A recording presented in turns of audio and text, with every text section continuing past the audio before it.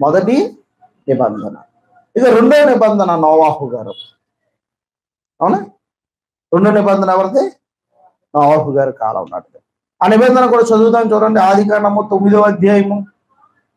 ఆది కాండము తొమ్మిదవ అధ్యాయము. తొమ్మిదవ వచ్చును నుంచి పదకొండవ వచ్చును వరకు.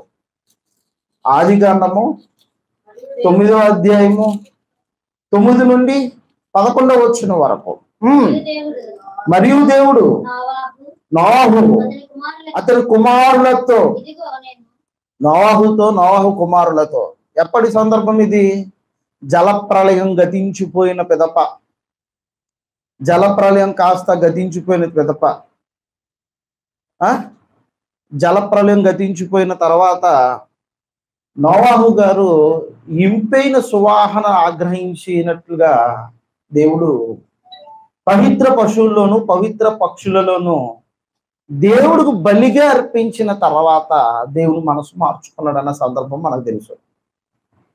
పవిత్ర పవిత్ర అంటే పవిత్రమైన పశువు ఎవరికి సూచన? యేసుక్రీస్తు ప్రభులు వారికి సూచన.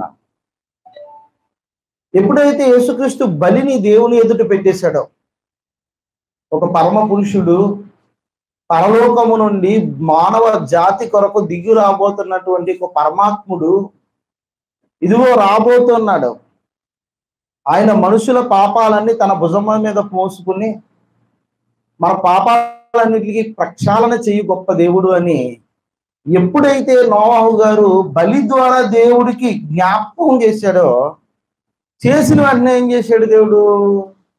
ఒక నిబంధన చేస్తున్నాడు. ఒక నిబంధన చేస్తున్నాడు. అర్థమవుతున్నప్పుడు మీకు? ఒక మనిషి చేసినటువంటి సత్కార్యము వలన కాదు ఒక మనిషి యేసుక్రీస్తుని జ్ఞాపకం చేయడం వలన దేవుని మనస్సు మారిపోతుంది. అందుకని ప్రార్థన లోప చివర్లు ఏమంటాం? యేసుక్రీస్తు ద్వారా ప్రార్థన అడిగి వేడుకుంటున్నాం. తండ్రి నా ముఖం చూసి ఈ కార్యాన్ని నెరవేర్చక. నా ముఖం చూసి నెరవేర్చక. ఎందుకంటే నాలో ఏదో అసందర్భం ఉంటుంది. కానీ కుమారుడైన క్రీస్తులో ఏ విధమైనటువంటి నిష్క ఏ విధమైనటువంటి మచ్చ కూడా లేదు. నన్ను బట్టి యాస్టప్ చేయక యేసుక్రీస్తుని బట్టి యాస్టప్ చేయ. నాహు గారు కూడా ఎవరు ఎవరి ముందు తీశాడు? ఎవరు ముందెట్టాడు ఎవరిని? యేసుక్రీస్తు ప్రభులు వారిని ముందెట్టాడు ఇప్పుడు యేసుక్రీస్తు ప్రభులు వారిని ముందెట్టాడు కనుక దేవుడు నిబంధన చేస్తున్నాడు. దేవుడు ఒప్పందం పడుతున్నాడు. రైట్ ఇప్పుడు ఒప్పందంలోకి వెళ్దాం. తొమ్మిదో అధ్యాయము ఎనిమిదో వచ్చును మరి దేవుడు నావహు అతని కుమారులతో ఇదిగో నేను మీతోను మీ తదనంతరం మీ సంతానముతోను మీతో కూడా కూడానున్న ప్రతి ప్రతి జీవితం జీవితోను పక్షులేమి పశువులేమి మీతో కూడా సమస్త భూజంతువులేమి వాడలో నుండి బయటికి వచ్చిన సమస్త భూజంతువులతోను నా నిబంధన నా నిబంధన స్థిరపరచు. స్థిరపరుచుదును. నేను మీతో నా నిబంధన సెకండ్ రెండు నిబంధన కదా? రైట్ నా నిబంధన స్థిరపరుచుదును మీతో. నేను మీతో. నిబంధన స్థిరపరచు. నిబంధన స్థిరపరుచుదును సమస్త శరీరం సమస్త శరీరులు ప్రవాహ జలము వలన. ఇంకను లయపరచబడరు. భూమిని నాశనము చేయుటకు. ఇకను జల ప్రళయము కలగదని పలికెను. భూమిని అంతా నాశనం చేయడానికి జల ప్రళయం జరిగింది. ఇక అలా జరగదు. సమస్త శరీరులు నీటి ప్రవాహంలో మునిగి చనిపోయే స్థితి రాదు. అక్కడక్కడ వస్తున్నాయంటే భూమి అంతా రావట్లేదు కదా. దేవుడు తాను చేసిన నిబంధనకు కట్టుబడి ఉంటాడు.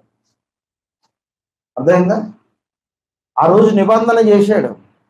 సమస్త శరీరాలందరినీ నీటిలో ముంచి చంపేశాడు. ఎవరిని? ఎవరిని చంపేశాడు? ఎవరిని చంపేశాడు? నోవాహు కాలంలో ఆ ప్రజలందరినీ ఎవరిని పాపాత్ములు అందరినీ నీటిలో ముంచి చంపేశాడు అవునా? దానికి సాదృశ్యమే బాప్తిష్మము అర్థమవుతుందా? దానికి సాదృశ్యమే బాప్తిష్మము పెద్ది రాసిన పత్రికలో ఉంటది. పూర్వకాలమందు అందు ఆ పూర్వకాలమందు సమయములో జలప్రలయము ద్వారా నీటిలో మునిగి ఎవరు చనిపోయారు? పాపాత్ములు చనిపోయారు. దానికి సాదృశ్యమైన బాప్తిష్ ఇప్పుడు మిమ్మల్ని రక్షించుచున్నది అన్నాడు. అంటే నీటిలో మునిగి పాపాత్ములు చనిపోయారు. నీటిలో మునిగి మన పాపాలను చంపేస్తున్నాం. మనం ఏం చంపేస్తున్నాం? మన పాపాలన్నీ ఏమైపోతున్నాయి? నీటిలో సమాధి అయిపోతున్నాయి. దాన్ని బాప్తిష్మము అన్నారు. మన పాపాలు మనం తీసేసుకోగలమా? మన పాపాలు మనం తీసేసుకోగలమా చెప్పండి? ఒక భక్తుడు ఎలాగ అంటున్నాడు చూద్దాం ఒకసారి. యోబు గ్రంథము పద్నాలుగో అధ్యాయము ఒకటో వచ్చును యోబు గ్రంథము పద్నాలుగో అధ్యాయము నాలుగో వచ్చినని చూద్దాం. పద్నాలుగు నాలుగు. పాప సహితుల నుండి. పాప సహితునిలో నుండి. పాపరహితుడు పుట్టగలిగిన ఎంత మేలు. అలాగున్న ఎవడును పుట్టనేరడు. పాపసహితుడిలో నుండి పాపంతో నిండుకున్న వ్యక్తిలో నుండి పాపరహితుడు పుట్టగలడా? ఇట్ ఈజ్ నాట్ పాసిబుల్ అది సాధ్యము కాదు. దేవుడే చెప్పేస్తున్నాడు అలా ఎవడును పుట్టనేరడు. మరి పాపసహితులమైన మన జీవితాల్లో పాపరహితులుగా ఎలా మారాం? పాపసహితులమైన మన జీవితాలు పాపరహితులుగా పాపము లేని వారిగా పరిశుద్ధులుగా నిర్దోషులుగా ఈ పరిశుద్ధుల సంఘంలోకి మనం ఎలా చేర్చబడ్డాం? ఎలా ఎలా ఎలా చేర్చబడ్డాం? ఆ? మేము పాపం లేని వారం అండి చిన్నతనం నుంచి పెద్దతనం వరకు కూడా ఏ రోజు ఏ పాపము చేయని వారం అండి అనుకుంటే దేవుడు అబద్ధికుడు అవుతాడు దేవుడేమో పాపం చేశాడు అంటున్నారు. దేవుడేమో మీరు పాపం చేశారు అని చెప్తున్నాడు. మేమేమో ఏ పాపం చేయలేదంటే ఎవరిది నిజం? దేవుడు అబద్ధికుని చేద్దామా? అవును మనం పాపం చేయలేదని వాదిద్దామా? ఒక మాట చూపిస్తాను. యోహాను పత్రిక.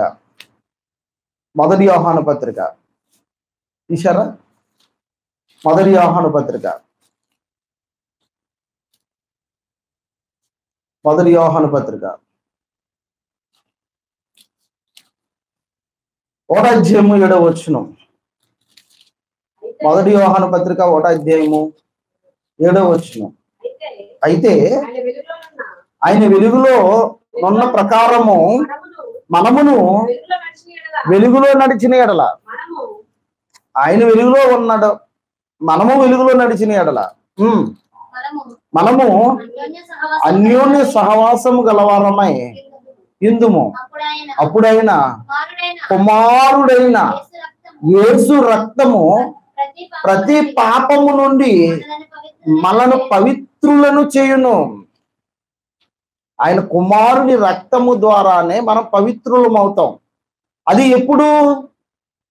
అది ఎప్పుడు?